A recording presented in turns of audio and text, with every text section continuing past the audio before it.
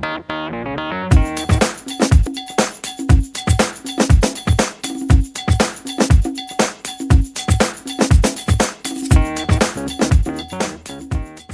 mache seit 35 Jahren so hauptberuflich Patententwicklung. Das heißt, ich lasse mir irgendwas einfallen und dann mache ich einen Prototyp, bis das funktioniert. Dann wird es schwierig, weil ich selber nichts herstelle und selber nichts vertreibe. Also da brauche ich dann eine Firma, die herstellt oder eine Vertriebsfirma. Und da gehen schon die Probleme los.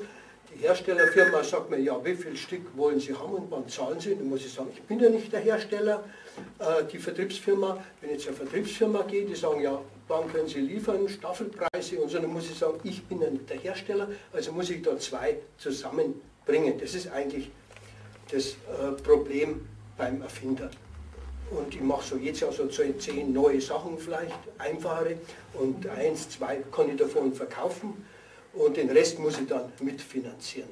Patent von mir, das ist nachhaltig, das hält bestimmt 1000 Jahre. Das ist alles massiv Eisen, das spannt man in den Schraubstock ein und damit kann man Sachen biegen. Das ist immer noch am Markt, läuft ganz gut, aber äh, der Verkauf geht natürlich auf Null zurück, weil man, jeder, jeder, der sowas braucht, der hat sowas schon und die Firma, die das vertreibt, muss sich halt jetzt ein neues Produkt suchen. Da habe ich Glück gehabt, das war eine kleine Firma, die hat das herstellen lassen und so weiter und da hat es dann schon funktioniert. In der Zwischenzeit wird es auch nachgeahmt, eins zu eins. Und äh, kann mich nicht wehren, weil das Patent ist abgelaufen. Das Patent läuft ja bloß 20 Jahre und da muss ich jedes Jahr Patentgebühren auch noch zahlen. Wenn ich ein Jahr nicht zahle, habe ich das Patent verloren. Und nach 20 Jahren macht jeder sowieso kostenlos nach. Da mache ich dann kostenlose Entwicklungshilfe für die ganze Welt mehr oder weniger. Ein Patent, ein Teil des Patents von mir ist ein ganz normaler Handbesen mit einer Gummilippe, die geht auch nicht kaputt.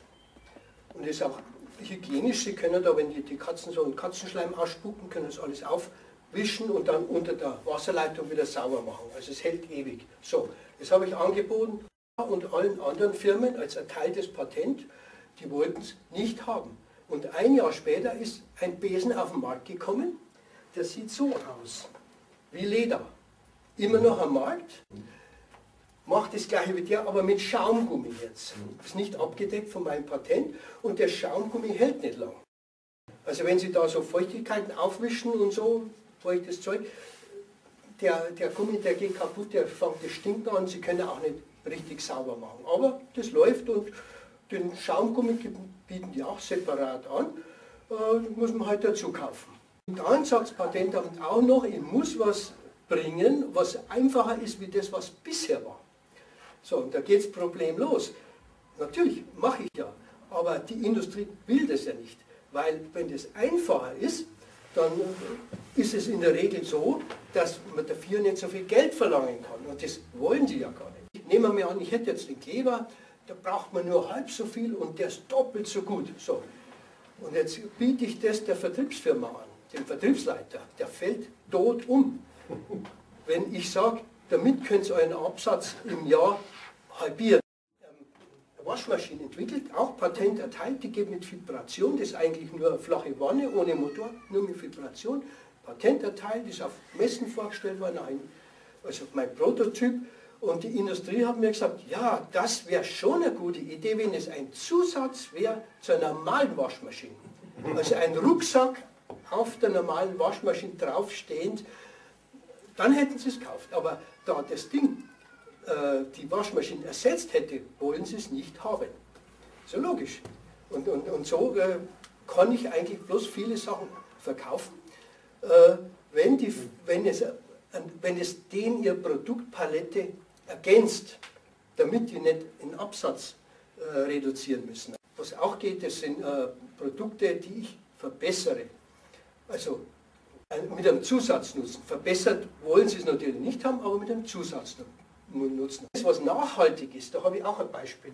Wieder Patent erteilt, ein Verpackungsmaterial, da sind kleine Löcher auf der Seite, das kann ich, wenn Sie das jetzt kriegen, als, als Paket, dann können Sie, brauchen Sie es nicht wegschmeißen, dann können Sie es einrollen, da geht die Luft raus und können Sie es mit dem kleinsten Volumen also äh, stapeln und wiederverwenden. Und wenn Sie es verwenden, geht es sofort wieder auf. und hat eine echte Dämpfung. Nicht so wie Styropor oder es hat keine Dämpfung. Dadurch braucht man große äh, Kisten, mit Styropor, wenn man mit Styropor arbeitet und so. Und hier kann man kleiner arbeiten. So, aber jetzt kommt es. Patent erteilt, dann habe ich das den großen Verpackungsindustrien angeboten, den kleinen natürlich auch. Aber von den großen habe ich drei fast gleichlautende Briefe gekriegt. So ein Dreizeiler, das passt nicht in unser Programm. Die haben sich auch abgesprochen. Das kann man aufgrund des Briefs der Gleichzeitigkeit kann man, kann man, könnt ihr nachweisen, also dass die sich abgesprochen haben.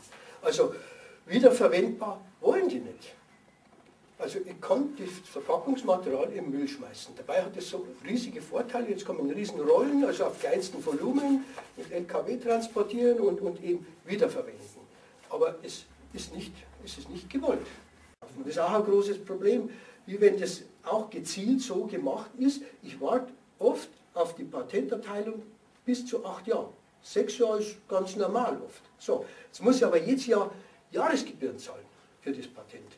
Und äh, wenn ich am Anfang einer Firma Idee anbiete, und es ist noch nicht als Patent erteilt, dann sagen die Firmen mir, ja, sie haben ja noch gar kein Patent. Sie kriegen vielleicht gar kein Patent. Wenn ich aber dann nach sechs oder acht Jahren zu der Firma gehe und das anbieten, dann sagen sie, jetzt haben sie schon sechs und acht Jahre und haben sie es noch nicht verkauft, das kann ja nichts taugen. Also das sind die Probleme äh, auf dem erfinderischen Sektor. Ähm, unser Repair-Café hier in Fürstenfeldbruck wird von dem Verein Sprint e.V. getragen. Das ist ein Verein hier, der sich um äh, straffällig gewordene Jugendliche kümmert. Wir haben im Herbst uns überlegt, was könnte man noch machen. Wir haben Räumlichkeiten zur Verfügung, die für verschiedene Dinge auch ähm, verwendet werden. Und da haben wir uns gedacht, da könnte man ein Repair-Café einrichten.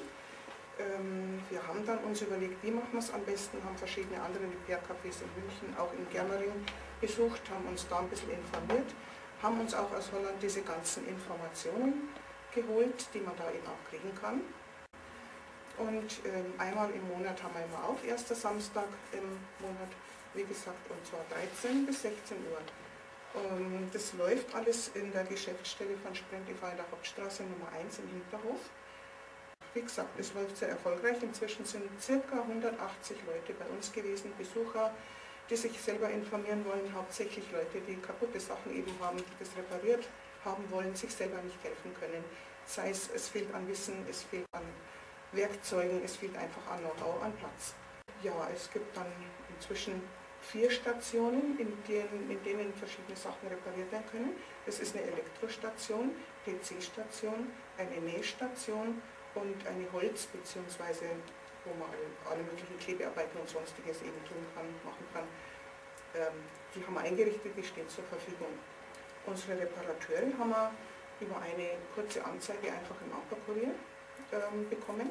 Das war eine kurze Anzeige und wir haben ein überwältigendes Echo gleich gehabt. Es waren sehr viele Anrufe da von ganz begeisterten Leuten, hauptsächlich auch Senioren, die einfach schon aus dem Beruf draußen sind, viel Zeit haben und noch so viel Power, die wollten einfach nicht nur zu Hause sitzen, die wollten sich einbringen.